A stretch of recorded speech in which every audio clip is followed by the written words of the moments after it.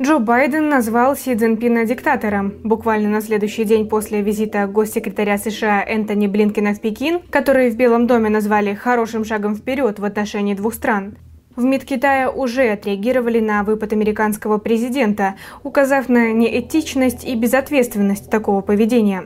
Но что такое этика, когда нужно стрясти деньги с американских налогоплательщиков для проведения очередного комедийно-драматического шоу под названием «Выборы США»? Как Си Цзиньпин стал диктатором и при чем тут воздушный шар? Заявление Байдена о диктаторе Си Цзиньпине прозвучало во время поездки американского лидера в Калифорнию, а если быть точнее, на встрече по сбору средств для предвыборной кампании. Во время мероприятия Байден вспомнил нашумевшую историю с китайским аэростатом, который в феврале был замечен на территории США. В Пекине тогда пояснили, что аэростат являлся гражданским метеозондом, который отклонился от курса из-за сильного ветра. И пока в Вашингтоне шли горячие споры о том, является ли воздушный шар шпионским, аэростат пролетел через центр страны и успел покинуть континентальную часть Соединенных Штатов, изрядно повеселив социальные сети. В итоге аэростат все же сбили. Однако из-за инцидента было принято решение отложить визит Блинкина в Китай. И вот спустя почти пять месяцев после тех событий Байден пришел к выводу. На самом деле Си Цзиньпин мог и не знать, что китайский воздушный шар сбился с курса. Причина, по которой Си Цзиньпин очень огорчился, когда я сбил этот аэростат со шпионским оборудованием на два товарных вагона, заключалась в том, что он не знал, что он там находится, рассказывал американский президент своему электорату в Калифорнии. И далее добавил, диктаторы испытывают большое замешательство, когда оказываются не в курсе случившегося. Он не должен был попасть туда, куда попал. Он сбился с курса. Это открытая провокация. Как отреагировали в Китае? Сравнение Си Цзиньпина с диктатором, безусловно, не могло остаться без внимания. И не только СМИ, но и китайских властей.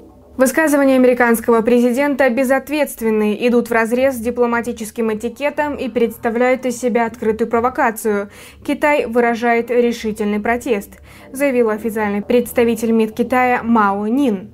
Дипломат также отметила, что американские власти намеренно искажали факты и нагнетали ситуацию с китайским метеорологическим аэростатом.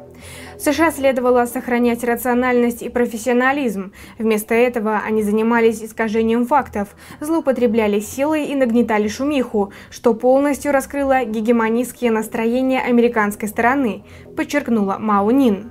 Примечательно, что Блинкен во время визита в Китай призвал китайские власти закрыть главу с аэростатом, но уже на следующий день Байден открыл ее заново.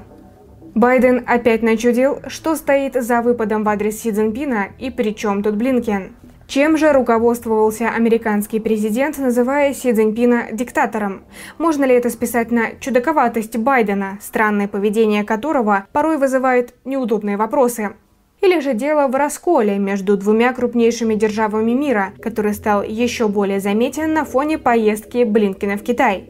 В западных СМИ визиту госсекретаря США уделялось немалое внимание. Во-первых, Блинкен стал самым высокопоставленным представителем Соединенных Штатов, посетившим Китай с начала президентства Байдена. Во-вторых, в последние годы отношения Вашингтона и Пекина заметно обострились. Это связано с ситуацией вокруг Тайваня, американскими провокациями в Индо-Тихоокеанском регионе, торговыми войнами. Вашингтон был недоволен позицией Пекина по украинскому конфликту, а в 2022 году американские власти опубликовали стратегию нацобороны, назвав Китай Китай самым весомым и системным вызовом национальной безопасности США. Поэтому от визита Блинкина ожидали многого и рассматривали его как подготовку к встрече лидеров США и Китая.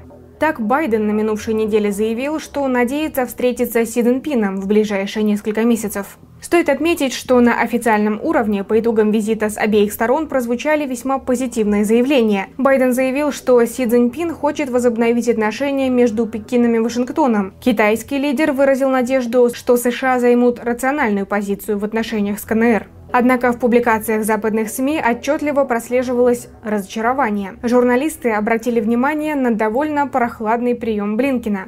Сама встреча госсекретаря США с китайским лидером довольно долго согласовывалась и в итоге продлилась всего 35 минут. Строгое приветствие на летнем поле аэропорта в Пекине без красной ковровой дорожки, рукопожатие с каменным лицом от высокопоставленного чиновника внешней политики Китая.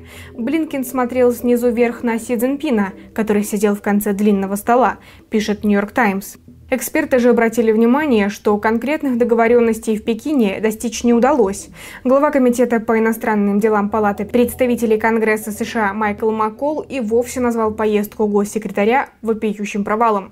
В целом, весь период президентства Байдена – это провал за провалом, начиная с сомнительных выборов и штурма Капитолия, продолжая серьезными экономическими проблемами и заканчивая утратой геополитических позиций в Азии, Африке, Латинской Америке и на Ближнем Востоке. А теперь еще один, как минимум имиджевый, провал в Китае. С каждым новым провалом перспективы победы демократов на предстоящих выборах в 2024 году становятся все туманнее. Поэтому единственный выход Байдена и его администрации – убаюкивать электорат рассказами о злых диктаторах, защите демократии и сражении за душу Америки. Похоже, когда дело касается собственных интересов, в США не зазорно ставить на паузу и этику, и даже собственную демократию.